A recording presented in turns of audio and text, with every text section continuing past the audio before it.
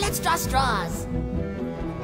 Jack said we should work together. Three of a kind. Birds of a feather, now and forever!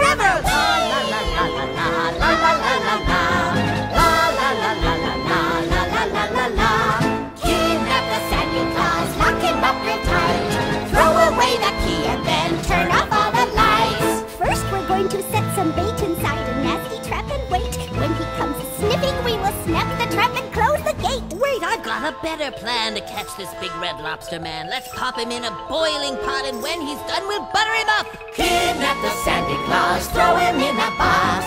Bury him for 90 years, then see if he talks.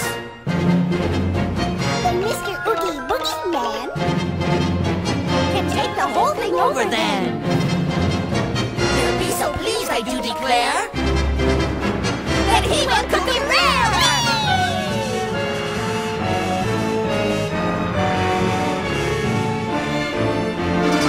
say that we take a cannon, aim it at his door, and then Knock three times and when he answers, Sandy Claus will be no more! You're so stupid. Think now if we blow him up to smithereens, we may lose some pieces and then Jack will be just black and green. Kidnap the Sandy Claus, tie him in a bag. Throw him in the ocean, then see if he is sad. Because Mr. Oogie Boogie is the meanest guy around. If I were on his boogie list, I'd get out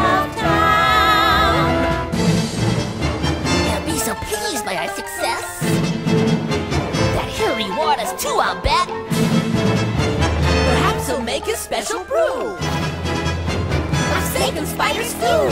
We're his little henchmen and we take our job with pride. We do our best to please him and stay on his good side. I wish my cohorts weren't so dumb. I'm not the dumb one. You're no fun. Shut up! Make me. I've got something. Listen. This one is real good. You'll see. We'll send a present to his door. Upon there'll be a note to read. Now in the box, we'll wait and hide until his curiosity entices him to look inside, and then we'll have him one, two, three. Kidnap the Sandy Claus, beat him with a stick. Lock him up for 90 years, see what makes him tick. Kidnap the Sandy Claus, chop him into bits. Mr. Oogie Boogie is sure to get